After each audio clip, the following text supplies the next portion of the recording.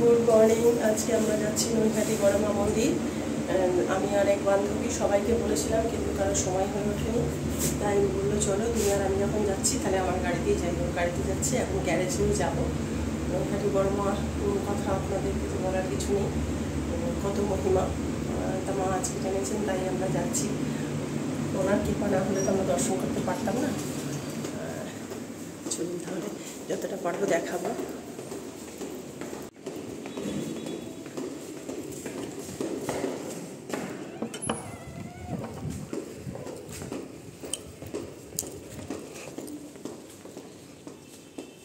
Where you go?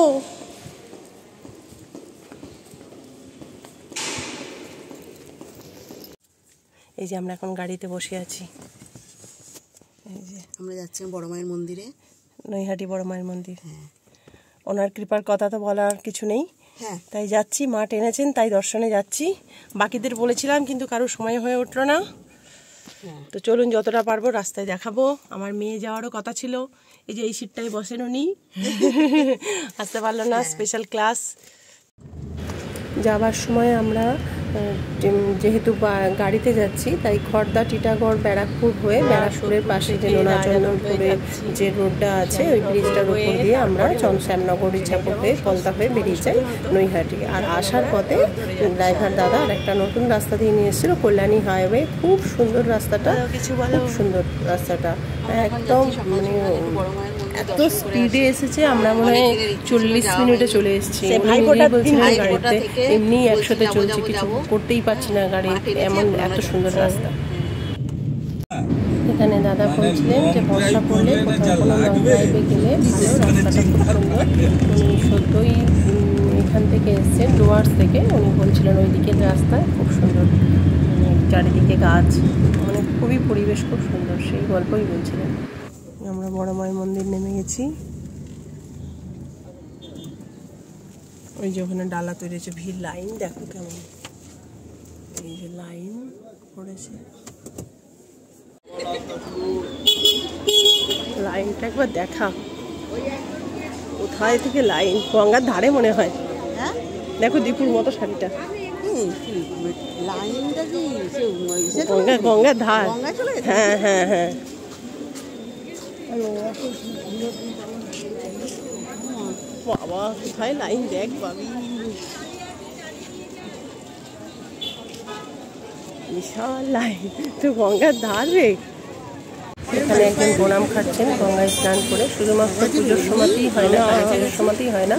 শুক্লপক্ষের প্রতি শনি মঙ্গলবারে প্রায় দুই থেকে তিন হাজার লোকের ভিড় হয়, আর দুটো থেকে ভোগ- ভোগও হয়, আর দুটোর পর থেকে ভোগের, ভোগ বিতরণ হয়। আমরা যেহেতু পুজো দিয়ে চলে এসেছিলাম, আমরা আড়াই ঘণ্টা লাইনে দাঁড়িয়েছিলাম, প্রায় দেড় হাজার লোকের পিছনে দাঁড়িয়েছিলাম। এই যে আপনাদেরকে দেখাচ্ছি, লাইনটা চলতে চলতে মানে দিক থেকে বাবা। আমরা লাইনে দাঁড়িয়েছি প্রায় জগদ্দল থেকে ভাটপাড়াতে দাঁড়িয়ে আছি। অনেক দূর লাইন। তবে খুব তাড়াতাড়ি লোক ঢুকে যাচ্ছে এক দেড়শো করে মন্দিরের ভিতরে প্রবেশ করছে। আমরা লাইনে দাঁড়িয়ে আছি। এখনও পুজো কিনিনি লাইন তাড়াতাড়ি যাচ্ছে। হ্যাঁ বেশি সময় লাগবে না। হ্যাঁ। আমাদের পরেও পিছনে অনেক লোক আছে এই যে লাইন বেড়েই যাচ্ছে। শুক্লপক্ষ শনিবার তো? লাইন এখানে এই যে লাইন। ভিড় তো হবেই মা গো শনিবার সবাই চায় মায়ের পূজা দিক ঠিক আছে? এখনও লোক এসেই যাচ্ছে। আমরাই প্রায় দু তিন হাজার লোকের পিছনে আর আমাদের পিছনে দাঁড়াতে দাঁড়াতে মনে হয় উম, আরও পাঁচশো লোক হয়ে গেল।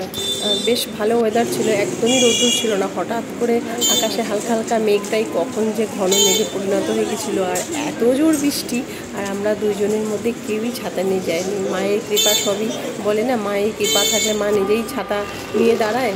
এই দেখুন কি বৃষ্টি পাশে আমাদের যে সামনে দাঁড়িয়েছিলাম দুই বোন খুব ভালো। তাদের কাছে দুটো ছাতা ছিল আমাদেরকে খুব হেল্প করেছে আমাদেরকে একটা ছাতা দিয়েছিল আর তারা মানে সবাই ভিজেছি। আমাদের জন্য ভিজতে পারতো। ছাতাটা দিয়ে আমাদের একটু অন্তত মাথাটা বাঁচিয়েছিল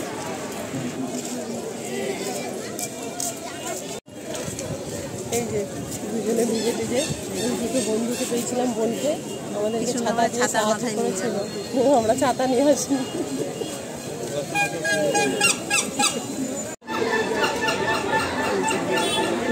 বড় মা ধর্ম হোক যার যার বড় মা সবার।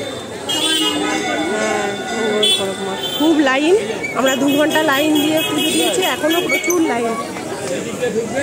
খুব ভালোভাবে দর্শন হয়েছে আমাদের। চলো। আমাদের পুজো দেওয়া কমপ্লিট হয়ে গেছে। কচুরি খেলাম সেটা আপনাদের সাথে শেয়ার করতে পারিনি ভীষণ খিদে পেয়েছিল তো। ওই জন্য আমরা শেয়ার করতে পারিনি।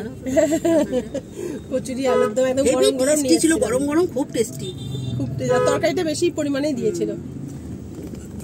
সঙ্গে আমরা জাম নিয়েছি। আর এই আম নিয়েছি দেখুন কত আম। কত আম কিনেছি। আম, জাম। জাম জাম কিনেছি। বড় বড় জাম। ফল মাকে। দেখে ফল নিয়ে যাচ্ছি আমরা। মা ফলটা ভালোই দেবে। চলুন এখানেই তাহলে আমাদের বড় মায়ের মন্দিরের ভালো ব্লগ মন শান্তি হয়ে হ্যাঁ আবার কোনোদিন আসব আবার আপনাদের সাথে দর্শন হ্যাঁ। করাবো। থ্যাংক ইউ ভিডিও করে দিল ওদের।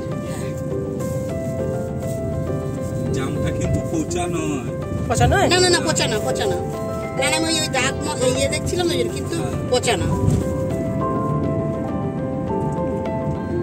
হসপিটালের নাম কি জানো এম এস কি জানো এমস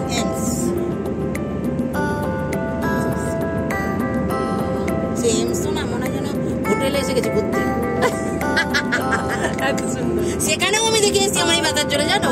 মানে কোথাও আমার বাদ নেই। কোথাও কোথায় আমি যাইনি।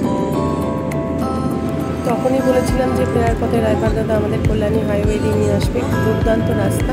তো আমার বান্ধবী ওর ব্যথার গল্প করছিল। কখন কত বছর আগে এই রাস্তা দিয়ে গেছে। কল্যাণী দিয়ে গিয়েছিল দেখাতে সত্যি অপূর্ব রাস্তা। হ্যাঁ ও ড্রাইভিং শিখেছে। আমরা ভাবছিলাম যদি দিয়ে আসতো ভালো চালাতে কেমন লাগল আমাদের ব্লগ